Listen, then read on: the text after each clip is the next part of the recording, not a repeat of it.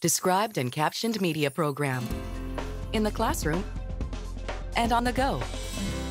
DCMP.org.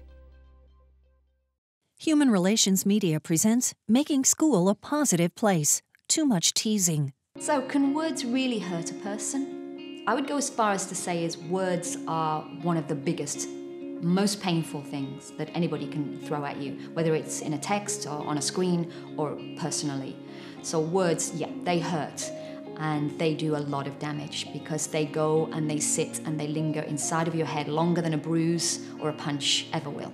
McLean. Is there such a thing as harmless teasing as opposed to like serious bullying? Well, it depends on like I don't know, that's just my opinion because if you're picking on someone and they find that to an offense or they like you hurt their feelings and you're like, "Oh, I was just teasing you. It's not really big."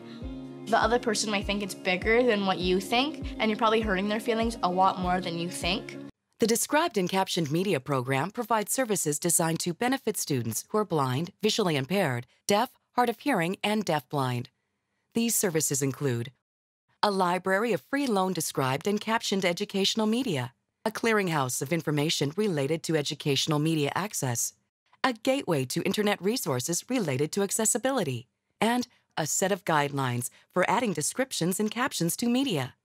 There are no user registration or service fees. Visit the DCMP at dcmp.org.